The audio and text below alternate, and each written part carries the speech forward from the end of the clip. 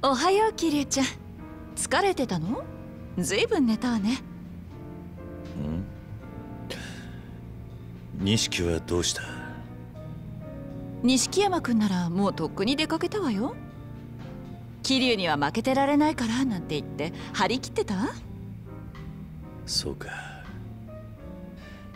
今何時だ？もう4時ねそろそろ風間さんのところに行かないとダメなんじゃないの？ああそうだな。そろそろ行くよ。お前はどうすんだ？うん。少し開店の準備したらお店閉めて外でお茶でも飲んでくるわ。そういえばユミは？一回家に帰ったわ。もう少ししたら買い出し済ませて私と交代でお店に来るけど。そうか。じゃあまた今夜軽く顔を出すよ。分かった。待ってるわね。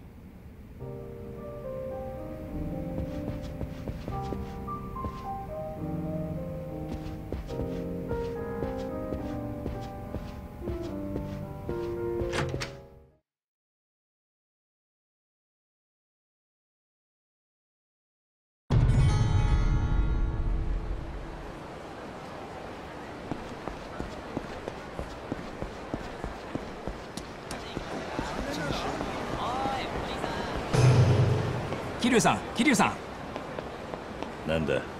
田村か。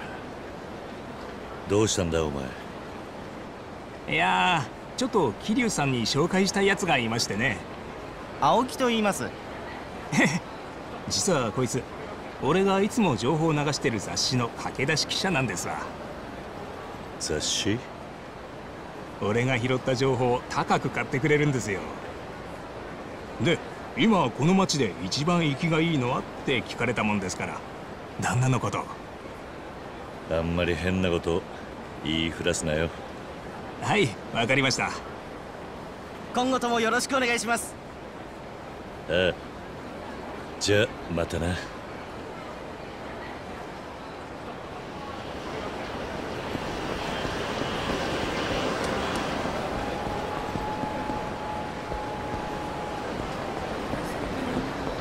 お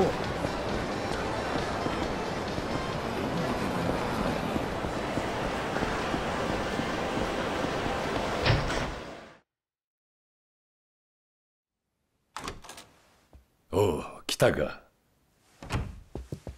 失礼します。ああご苦労さん。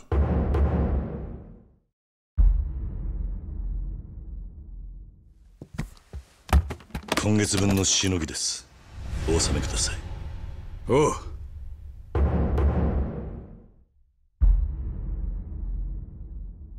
また無茶したんじゃないだろうな。いえ。カズマ。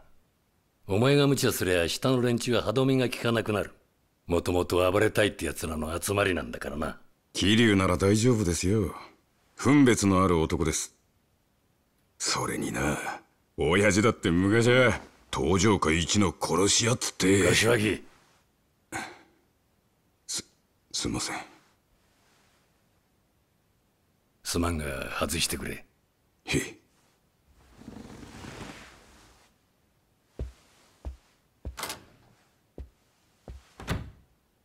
しかし文字通りの子供だったお前に組を任せる日が来るとはな。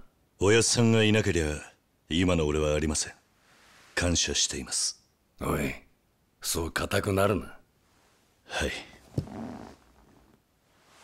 ひまわりには顔出してるのか？いえ最近は錦も弓も行ってないみたいです。たまには言ってやれ。あそこの孤児院はお前たちのふるさとみたいなもんだ。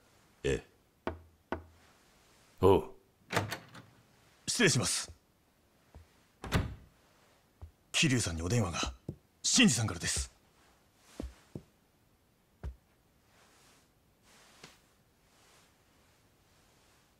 俺だ。